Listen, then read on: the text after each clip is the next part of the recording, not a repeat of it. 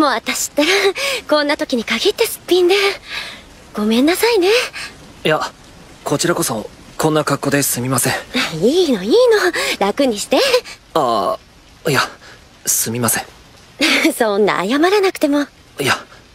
でもそっかあなたがメイの彼氏なんだ。はい。すみません。ねえいい。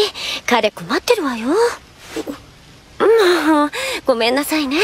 この子うちでもこんなだし学校で浮いてたりしない？お母さん。いえメイはあいやメイさんは強くて魅力的な人で。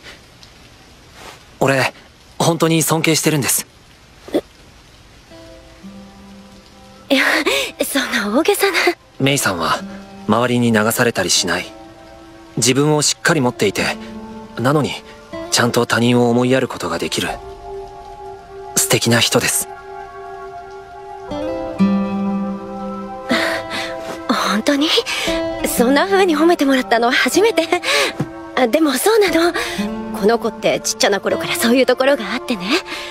分かってるの私だけだと思ってたから。